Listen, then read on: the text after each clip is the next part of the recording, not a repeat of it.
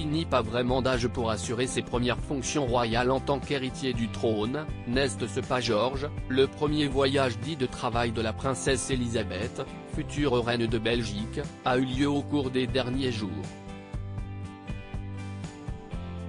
La jeune femme, âgée de 21 ans, a opéré un voyage officiel en Égypte aux côtés de sa maman, la reine Mathilde, dans le but de rendre hommage à sa grand-mère qui, comme elle, foulait les mêmes endroits du pays lors de ses multiples venues sur le territoire.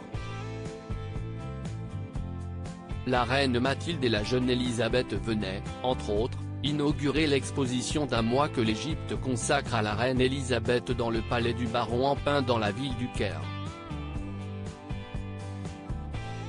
Elles ont également visité Luxor et assisté à l'ouverture de la tombe de Toutankhamon. Le site belge 7 sur 7 s'est amusé à comparer les photos de l'époque de la reine Elisabeth avec celles de sa petite fille, immortalisées dans les dernières heures sur les mêmes lieux que son aîné. Des souvenirs bluffants qui démontrent bien tout l'attachement de la troisième souveraine de Belgique envers l'Égypte.